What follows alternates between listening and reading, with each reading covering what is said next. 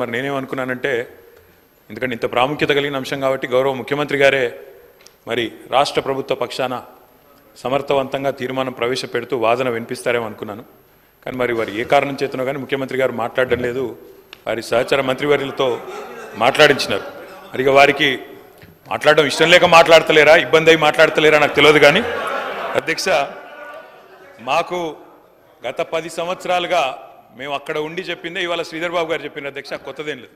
వారికి పాపం వారి ప్ర ప్రధాన ప్రతిపక్ష నాయకుడిని ఏదో అనిపించాలనే ఉబలాటం ఎక్కువ కనిపిస్తుంది. ఇంత అత్యంత కీలకమైన నాలుగు కోట్ల తెలంగాణ ప్రజలకు సంబంధించిన హక్కులు అనుమతులు నిధులు సర్వం ఈరోజు మనం ఇక్కడ చర్చించుకుంటున్నాం. ఇంత కీలకమైన సందర్భంలో ప్రధాన ప్రతిపక్ష నాయకుడు గారు ఇక్కడికి వచ్చి పదిహేను సంవత్సరాల తెలంగాణ ఉద్యమం పది సంవత్సరాల తెలంగాణ రాష్ట్ర ముఖ్యమంత్రిగా ఇరవై ఐదు సంవత్సరాలు పనిచేసిన అని గొప్పగా చెప్పుకుంటూ ఉంటారు ఎప్పుడు. వీళ్ళేమో భజన చేస్తూ ఉంటారు.